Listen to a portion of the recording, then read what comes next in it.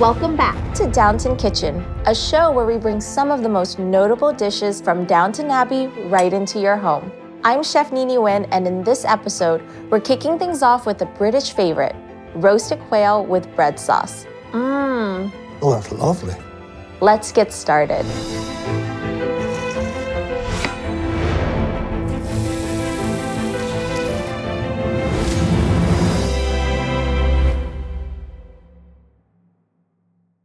Let's talk about quail.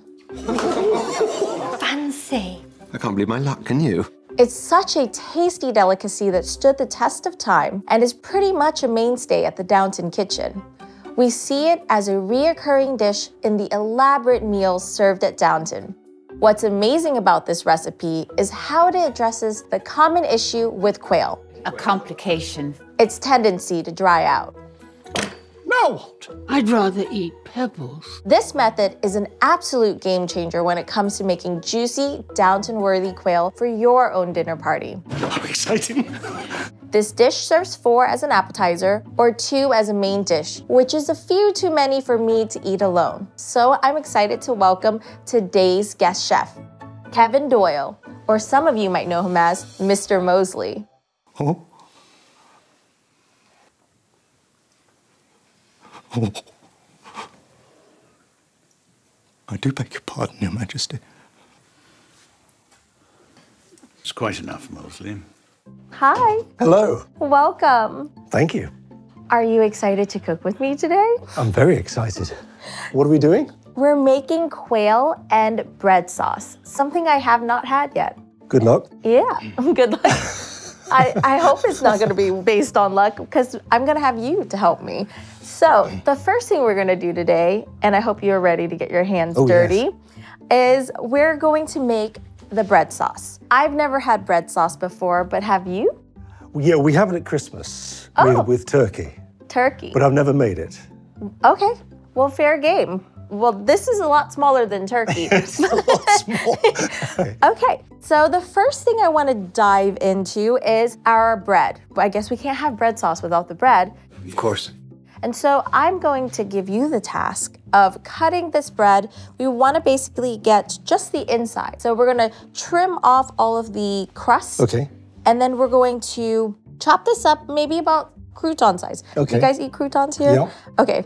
I had to make sure. We're gonna chop it up and we're gonna put it in this bowl right here. Mm-hmm. And then I'm gonna have you just kind of soak it with some of that hot water in that really big kettle in the back. and we just wanna kind of wet it just enough so that it moistens the stale bread. Right, okay. Sounds good? You think Yes. you can handle that? yes. Yeah. Okay, cool. So while you do that, I'm going to infuse our milk. So I have here some milk, and what I'm gonna do is I'm going to infuse it with a few key ingredients. We have here some clove. Essential. Is it? Yeah, yeah, yeah. Oh. That much I do know. I like this. You're like the police. so I have onion, bay leaf, and mace, which I've never seen whole. I've always seen it in powdered form in America, but this is an outer, almost shell for the nutmeg. And it really has that same kind of smell to it. smell? Very similar. Yeah. Yeah. Do you approve of this one? Because you didn't do. say yes I do. or no. I do. I, I didn't recognize it as mace. I've- Yeah. I've, only ever seen it in powdered form as well. Okay, good, good. So I'm not alone. I, I really like this because normally in America we put nutmeg in a lot of cream sauces, and I guess mace makes more sense in this form. So I'm gonna take a couple of cloves and we're gonna make kind of an ornament to infuse into our cream. So I have an onion here. I'm gonna take a bay leaf just like that, and I'm going to kind of pierce it with the clove. And it's almost like a Christmas ham. I feel like in making ham, at least in mm. America, we would stud it with some mm-hmm. cloves. So we're gonna do that to this onion right here. And that looks so pretty already. And then I have my mace, and I'm just going to drop it into the milk. So we're gonna light this up. So we're going to bring this to a simmer and we're gonna let this sit and infuse and get all of those flavors. And then we're going to add our bread. But before we put our bread in, we need to soak it with a little bit of Yes. water. Right. Not too hot. Yeah. A little bit. Just so that it softens. Let's give it a little mix.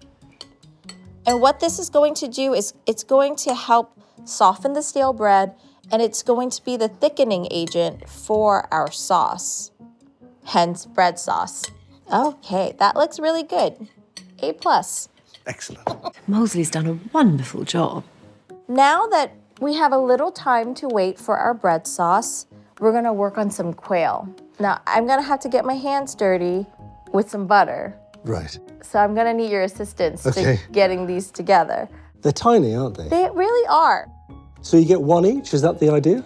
As an appetizer or two as an entree, which I think I would still be hungry. Yes. I'm putting a lot of butter on this because this is the key to making it nice and juicy, and you can't be shy with the butter. I guess they dry out, don't they? They, you. yeah, they do. I do need you to pass the salt and pepper, Yeah. and I'm gonna get you to help me season this. Okay. So you, quail is very similar to chicken. I think the meat is darker, but in flavor, how would you describe it? I don't think I've ever tasted it before. Really? Why so surprised? It's not quite gamey, even though I guess it's considered as a game bird, but it's quite delicious and it just doesn't have too much meat on them. So it's the perfect appetizer. So I'm just It's gonna. a lot of effort for a very small meal. Yeah. but it's gonna be delicious. That is something to look forward to. How was it working on Downton Abbey? It was great fun. I mean, obviously, I never spent any time in the kitchen. Um, Mrs. Patmore wouldn't allow that. Good night, Mr. Molesley. All I did was serve this wonderful stuff. And Mr. Molesley, remember to breathe. Breathe, yeah. Gentlemen, There was a lot of choreography involved in the serving. I remember quite early on when I was first doing it, I was always crashing into the furniture or sort of because it's, al- it's, it was all terribly well choreographed. You have to sort of serve at a certain time, and you, you the idea is not to interrupt people's conversation. I was always sort of spoiling the shot because I was coming in at the wrong time or serving the wrong person. I feel like you have to have like good core oh, muscles Oh, muscles yes, you have. to stand there and do this Yeah, yeah, yeah. and not spill. Yeah. I don't think I would I would be successful at that. we will do our best, Mr. Wilson. I don't want your best. I want far better than your best. Our bread sauce has simmered and now we're gonna let that infuse. I'm gonna need you to grab the spoon right there. We're going to kind of stir it up just so that it's all submerged. Okay. That looks really good. And then do you mind putting that pot just a little bit over so that it's kind of out of our way? Okay. because we need I'm gonna get you closer here so you can help me season this quail. So I have my quail here, I've buttered it, I've given it a nice massage, and now I'm gonna need you to help me season it with a little bit of salt and pepper. Right. And so whenever seasoning, you wanna season from both inside and outside, and they're little, so we're gonna just be generous with the salt. Yes. And then I'm gonna open this up, and you're gonna, this is not quite graceful, but Yeah. it's required. Okay. Um, I'm gonna add, I would say a little bit more. Okay. Don't be shy. We like salt here. Perfect. And then some pepper. Okay. Yeah. Amazing. So the key to making sure our quail is not dry is to rub it down with butter and to tie it together. So we're gonna grab some of those grape leaves and we're oh, going to basically kind of make a little blanket over the breast of the quail, just like that. These are these are grape leaves. Yes. And why do we why do we wrap them? They serve two purposes. So they help retain moisture and it has a nice subtle flavor to the quail. So we're going to add a little bit more flavor than just salt, pepper, and butter and grape leaves. We want to add a little bit of this bacon. So I'm going to, because my hands are already meaty, I'm going to go ahead and wrap this with bacon just like that. And we're gonna tie it together. And the bacon's gonna be nice, it's fatty, mm. it's smoky, and it's just going to give it another delicious element. And it's gonna keep it from getting too dry as well. So we're gonna wrap these up. Look how pretty. They're already starting to look pretty, but the hard part is tying it together Right. or at least for one person. So this is where I'm gonna need your help. Have you ever trussed a bird before? No, I haven't. Okay, so I am going to start and I'm gonna need you to help me cut. So be careful with that. That is sharp. Right. And we're gonna go in like this. So we tie it around the bird, kind of twist it over like that so it crosses in the back. And then we bring it forward. And to make sure it just doesn't dry out, you wanna just kind of make it all into almost like a little ball or dumpling so that they just stay nice and closed like mm. that. And so we're going to tie this. I'm gonna twist it again over its legs, but then I'm gonna have to tie, I'm just gonna do that. And then I'm gonna need you to put your finger right there, so you do have to touch it. Okay. And then I'm going to tie it again. It's like we're performing surgery. I know. All right. The poor things that look so undignified. And now will you help me just cut that? Right. Okay. Now I should cut down. Yeah, that might be There go. safer. There we go. So then we have something that looks like this, and I have a pan. There's a pan right there. I'm just gonna boss you around this Yeah, kitchen. yeah, good. And so here we go. I'm gonna also give you the task of adding some butter to the pan because it's always nice to have just a nice little layer on the bottom of the pan so that it doesn't stick. Okay. And, you know, we want this to be really delicious. So I'm giving you a couple of tasks. So here we have that. I'm just gonna tie it like that. Then That's I'm quite a skill. I know, right? I like to make it a little fancy and cross their legs like this. Yeah. You know, make it a little bit more ladylike. So will you put your finger right there Yeah. again? I wouldn't like to have to prepare like 30 of those. Yeah. Um, and I don't think anyone should. But I guess Mrs. Patmore probably Yes, did. that's what I'm thinking. Will you of. give me a I know. but I mean this is a really great technique to to have for when you're ro- roasting something like a chicken. You think you want to try to do Mm. Oh, this? I should have been concentrating more. All right. Okay, I'll have All a right, go. it's okay. I'm gonna coach you the whole way. All right. Okay, so you're gonna put that. Look, Over. you already got it. Yeah, over, under, cross, and then we're gonna flip it. Those poor. th- You're a professional. I should have made you do this the whole time. And then we're gonna we're gonna make her a little ladylike. Oh, like yes. That, cross that leg. So it's just it just looks prettier. Yeah. Awesome. Look No, at that. And then I you- need yes, the there you go. finger.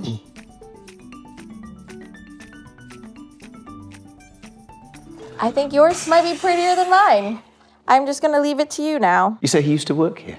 Yes, but we weren't aware of his hidden talents. Now we're gonna roast this, and I need you to help me put it into the oven. I have a question. How, how long would something like that need? You just basically want to cook the quail just enough that it is fully cooked, about mm. 165 degrees, and then no more, because then it risks drying it out. Yeah. So we're gonna go ahead and put this in. All right. And there we have it. So what happens now? The bread goes into that? Yes, the bread Okay. goes into it, and this is the thing that will thicken it. But I need you to help me check for consistency. So I'm going to add in our soaked bread right into the milk. And if there's extra water, you can kind of wring it out with just your spoon or your hands if you want to get your hands into it. Here we go. And we're gonna whisk this together, and the and the bread's gonna break apart, and it's gonna really form the sauce. Okay, so here we Can go. I be honest about the bread sauce? Yeah. It's always served at Christmas, but I never eat it. So this will be the first time I've ever eaten it. I feel like this is such a big scandal. This is absurd. That would finish Granny off. And Papa, too. It'll be an adventure for both of Yes, us. indeed. And so I'm just going to break up and whisk the bread. And as it heats up and as it cooks, the bread is going to slowly break down. And we're going to season it with some salt and white pepper. So Why you white pass me that? pepper?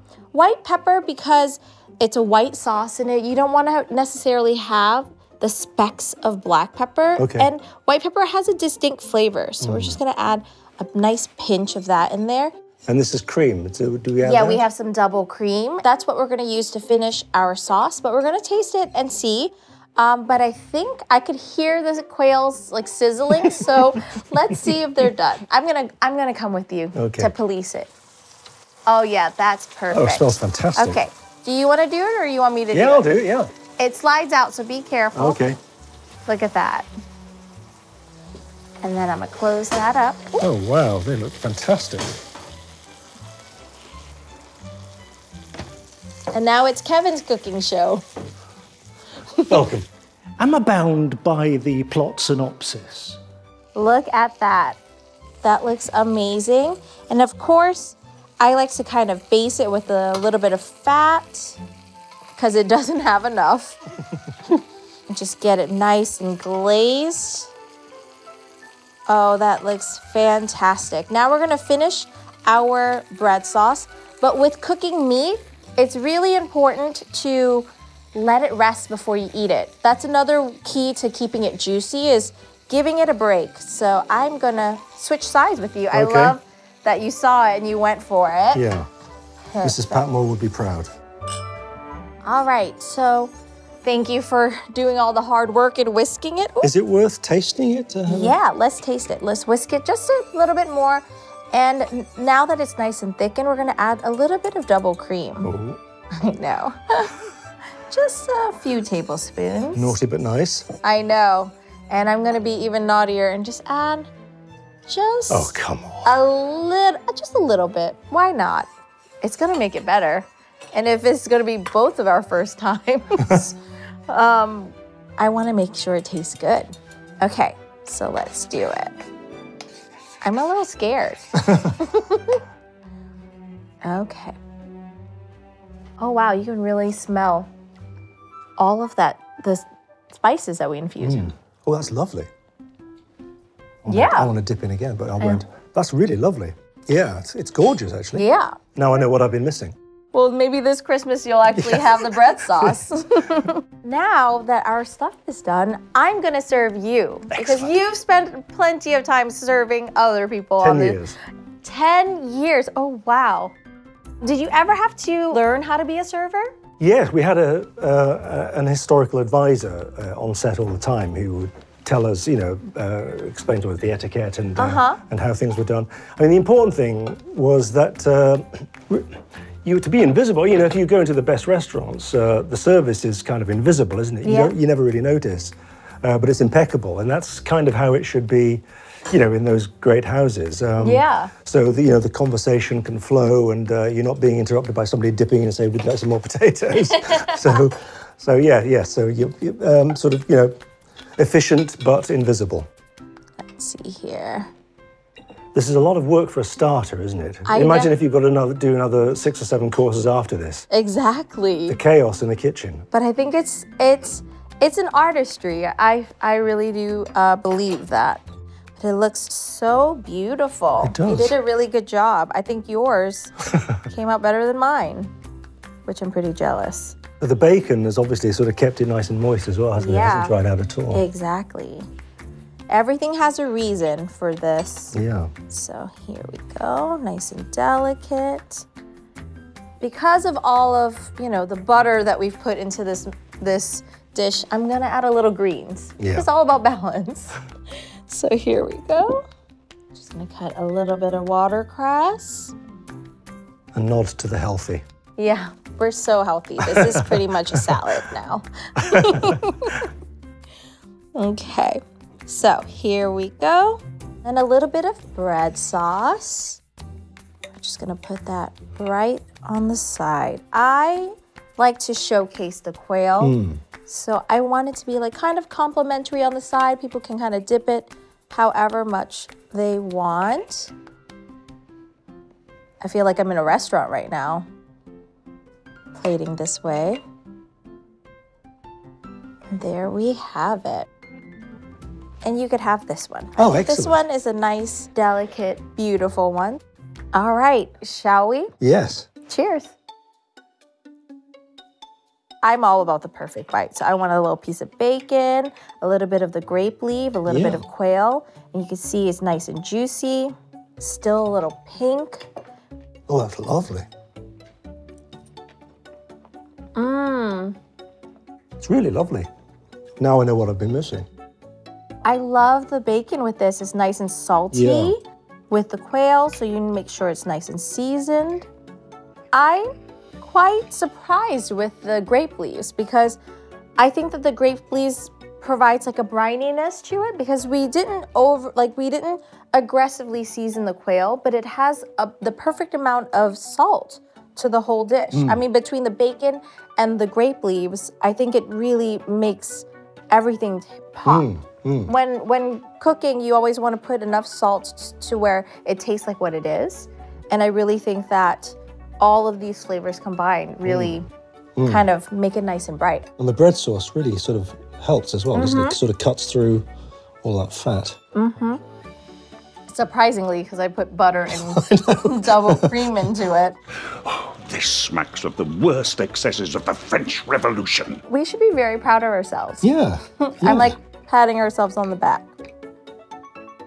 See, when we're downstairs at Downton Abbey, you never got quail. You got sort of, you know, egg on toast and things like that. Really? yeah, we never got such things. They impose, they demand, and now we're to be made nothing in our own house. It's very disappointing, I won't deny it. There was a scene where Lady Edith had been dumped at her wedding. So we, the servants, all got to eat the wedding feast. Yeah. Uh, so that was the only time we got to eat some sort of fa- some fancy food. Otherwise, it was just sort of you know beef stew and things like that. I remember because it was it oysters or caviar, and then yeah. like Alfred. I That's think right. was like, why would you eat that? And I'm just like, I would, I'm, I'll be there. But it looked so beautiful as well. Yeah, yeah. That's really delicious. Well, I did my best. Well, thank you so much for coming today and having this whole experience with me. I feel like we've bonded over bread sauce. so thank you for that. Thank you. We have way more Downton dishes coming your way, so join us next time as we come together over our next iconic Downton Abbey inspired recipe.